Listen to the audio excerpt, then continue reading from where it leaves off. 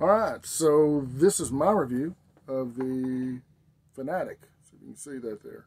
Uh, the Nancy Wilson uh, Epiphone. Um, got good and bad to tell you about this. Um, let's go over the good first. Uh, everybody likes the good. Good brings on happy feelings. We all like to be happy, right? So, the good, uh, the fretwork was amazing. Um, and, and at this price point that, that I paid for this, uh, yeah, it was really good. I mean, there's no sharp edges. There was no gritty when you did any bends. Everything was smooth.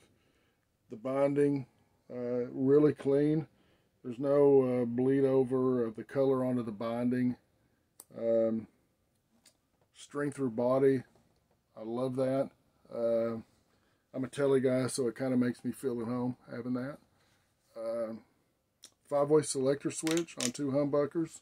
It's great.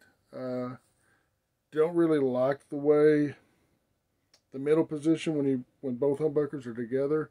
It only does them when they're in split mode. You can't get both of them full-blown humbucker.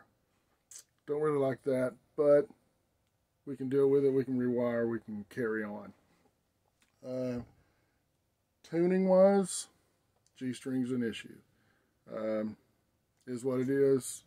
I mean, anytime you buy this brand or the big American brand that's associated with it, you know you're going to be playing with that G string. Um, is what it is. We'll deal with it. We'll uh, I'll check the nut later on and see if it uh, needs to be uh, filed out a little bit. Maybe we can put some graphite in it or something, and we'll carry on. Is what it is.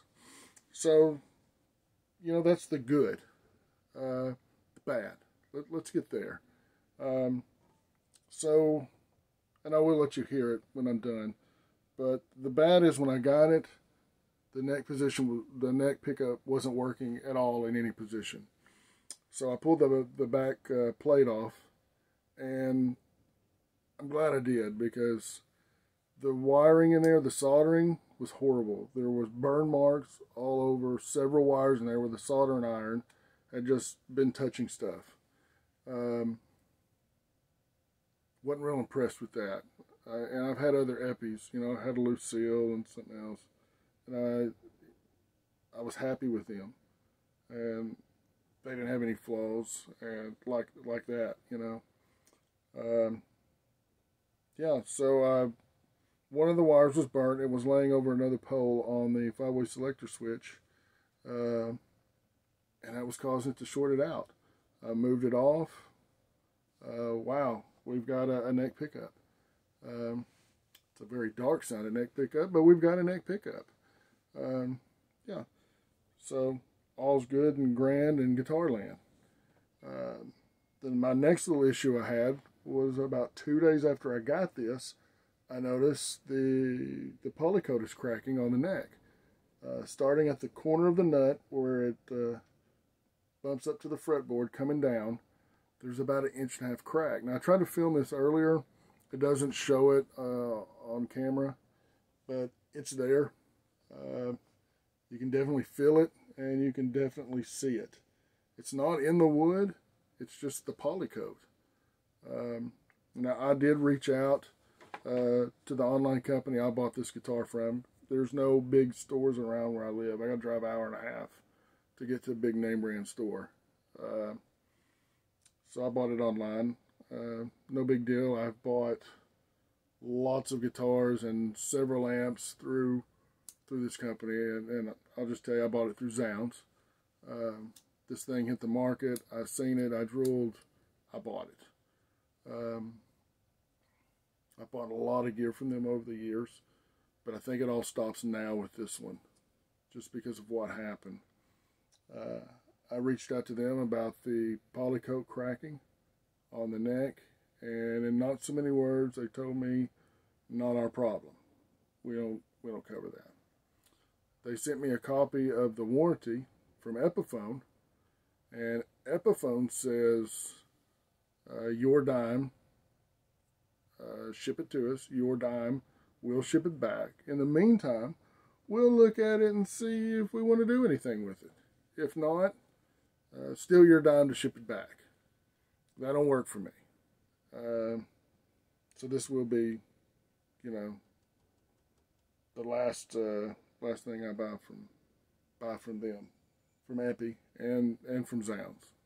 Uh, I've never never had any issue, and I've bought a lot of guitars, and I think I've only sent one back over the years. I had a Baja Telly, and that thing fretted out all over the place, and from what I understand, it, it was an issue with some of them, and I, I had one of them, and I that thing had an amazing V-neck.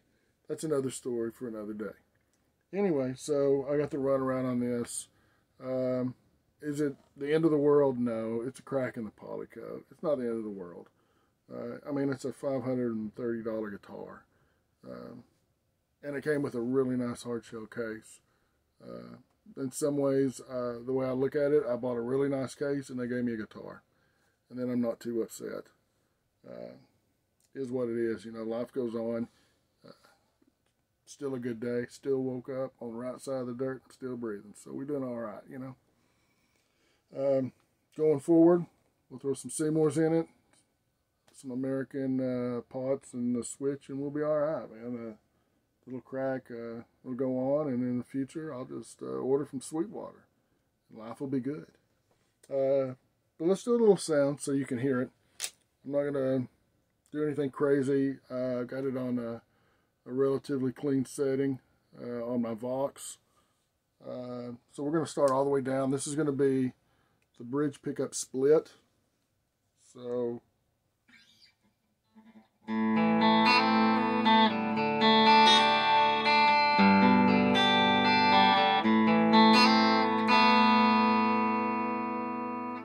up one click and that'll give us the bridge and full humbucker.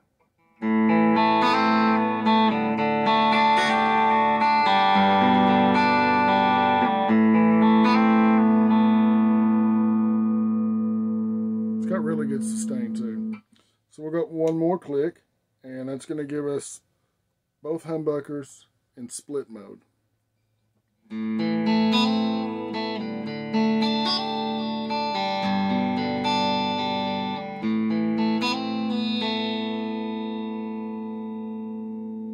So we'll go up one more, and that's going to give us the neck mini humbucker in split mode. And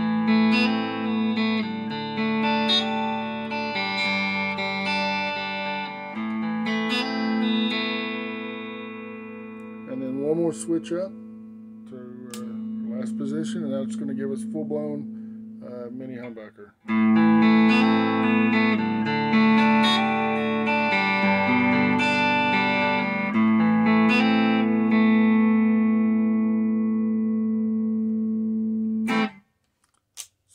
Is, the Fanatic. Uh, try one. You may like it. I mean, other than the couple little things I, I've experienced, I like the guitar. I mean, it's got a thin D neck uh, with a Fender scale and a couple of humbuckers on a smaller Les Paul type body. Uh, it's definitely uh, definitely smaller. It's got a tummy cut, super comfortable to sit down and play. The thickness, I, it's somewhere between a, a, Les Paul and an SG for thickness. Uh, it's really well balanced, really. Uh, if it wouldn't have been for the two little issues I had, man, I'd love this guitar. And I still will, I guess, going forward. I shouldn't say I'd love it if, if it didn't have those issues because I still like it. You know, this is easily remedied. I'm going to take it out anyway. I don't keep stock pickups in anything. Um, Seymour's for everything. So this will get switched. Tuners will probably get switched out anyway. I mean, they're they're just uh, cheap Chinese tuners. I mean, you don't you don't expect a lot from them. It's probably pot metal or something. So we'll put something good on it. Uh, I believe it's a Graph Tech nut, so I'm good there. Uh, no complaints there. And uh, the crack in the poly's not the end of the world, like I said. I'm just upset with, with zZounds for the, you know, I bought a lot of gear and to be treated that way. But, uh, yeah, we'll just go to Sweetwater going forward. And all will be good and grand in the world of guitar land. So, uh, yeah, the, the Fanatic, man, go out and try one. You may really like it. You may not. I do, other than these little things. Anyway, that's it. Y'all have a good one.